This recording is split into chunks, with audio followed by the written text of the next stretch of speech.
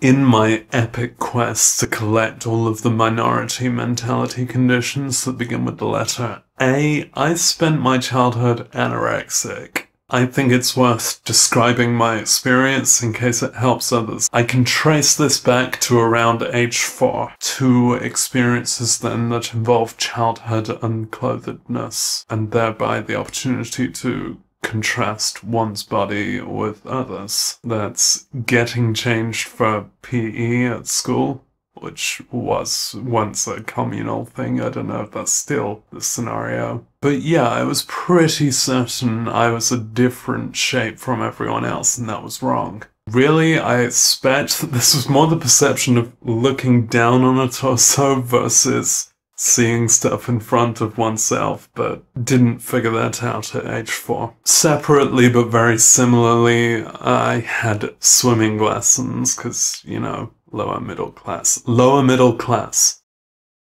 And there was a pretty horrible girl at the swimming lessons, a bit older than me, who criticized my body a bit. And I'm pretty sure that got to me deeply.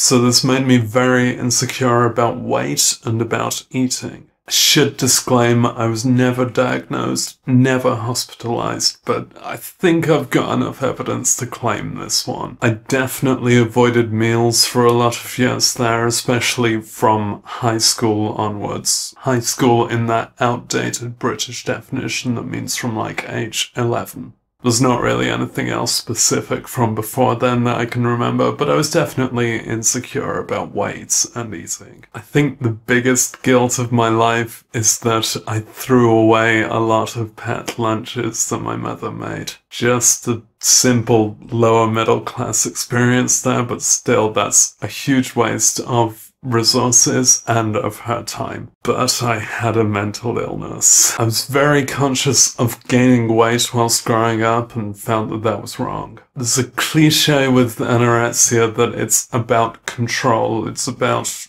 having a sense of control for oneself when that's lacking elsewhere in one's life. And I think that's a cliche because it's absolutely accurate. That checks out completely for me. I felt that I was monitored a lot and controlled a lot and, you know, I was bullied a lot. And thereby, that's one aspect that I had control over. I think another element of it there, and I have seen this described by others referring to their childhood anorexia, is gender dysphoria. Because puberty's pretty frightening. And I thereby subconsciously delayed it into my early 20s.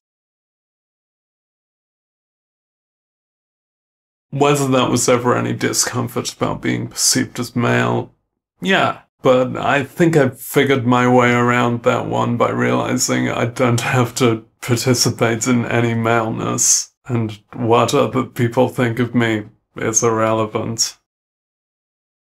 I guess another element that comes into play with both anorexia and gender dysphoria is the concept of beauty, self-perceived beauty, and the pursuit thereof. Self-worth via visual attractiveness. I definitely struggled for self-worth, so maybe that was a bit of a subconscious motivation for an eating disorder. I mean, I didn't waste much time judging others physically, but I think I'd internalized that that's the way the world works, and that's how to get some actual value. It's also a general bodily self-disgust. I, am not much into bodies. Biology is gross. You know in Arrested Development where Tobias is a never nude? I watched that as a kid and it's a very funny show, but I, I thought that bit was a bit unfair because that, that's a real condition that I had.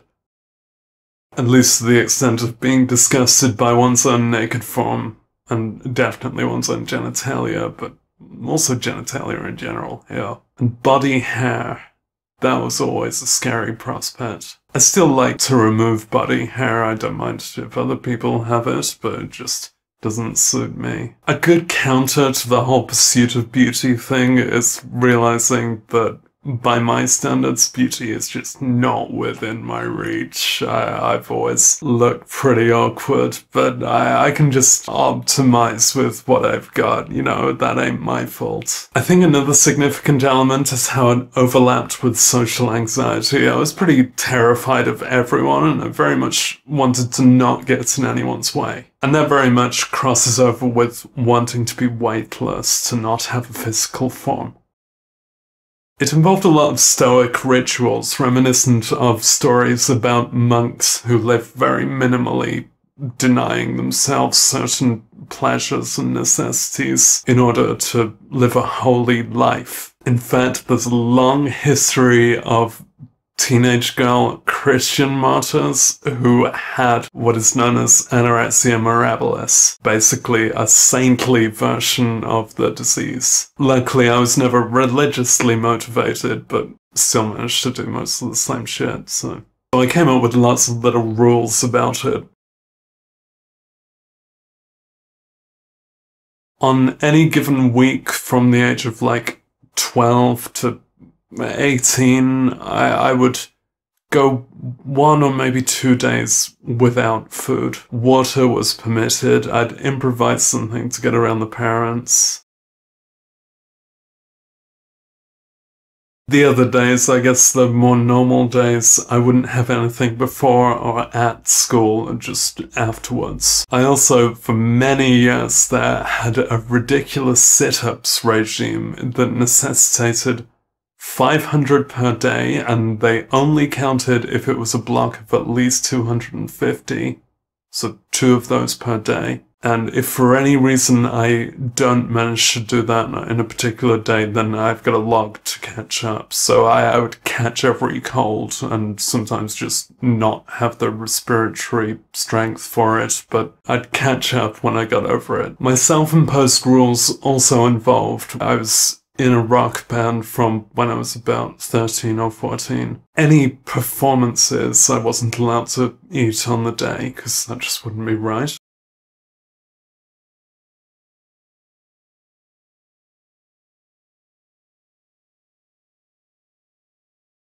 I also extended this logic to anything social, which, you know, not that there was much social in my life, but any context in which I would value presenting my best, I would have to fast beforehand for the duration of that day and the prior day, allowing water and possibly other drinks.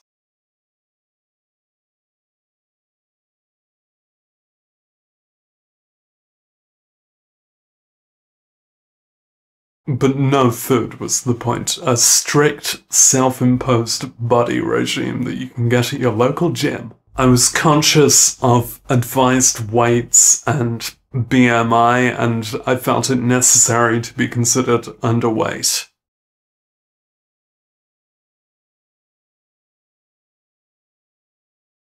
I did encounter the online pro Ana community horrible stuff. I kind of knew it was horrible stuff. I think part of the mentality of an eating disorder, and maybe other mental disorders as well, is simultaneously knowing you're doing it and knowing it's wrong and being in absolute denial of that and insisting that it's right for you because it sure feels fine, it sure felt contemporarily rewarding. Really, although I was anemic, insomniac, and had no immune system, I'd say I didn't suffer that much from it.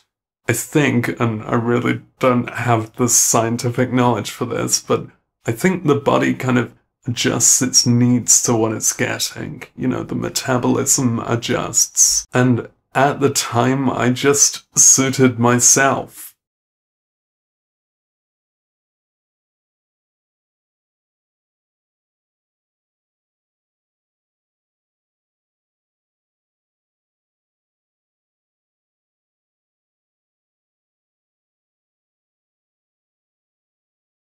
That idea of control was also just taking care of oneself in an obviously perverse way, but my habit seemed to work for a long while. Now, I do have long-term significant health problems now that may well trace back to that, so I'd recommend against eating disorders.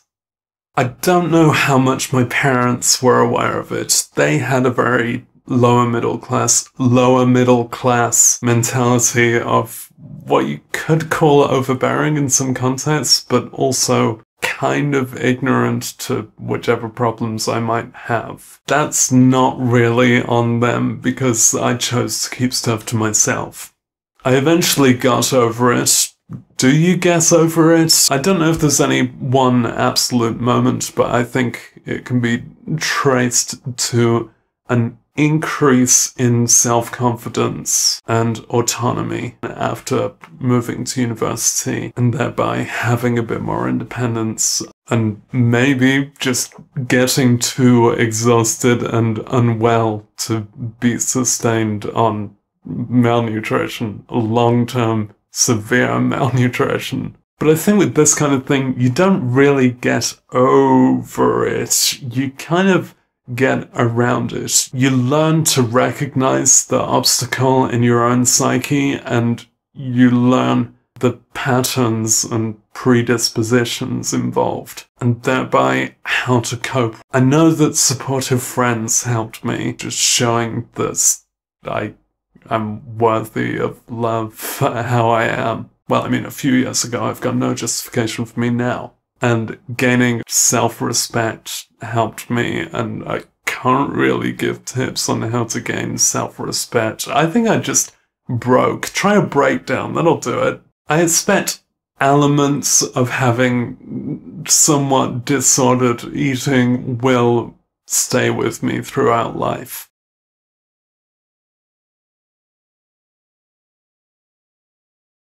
I'm quite uncomfortable with my body. I'm thinking of getting it removed. And body hair, and I, I always wear long sleeves because my arms are just so dreadfully bulky, completely inelegant. But generally now, I'm just not well enough to prioritize that. So maybe that's how you get over it. Become really unwell, inevitably let yourself go. I don't let myself know my body weight now because that would probably set me off.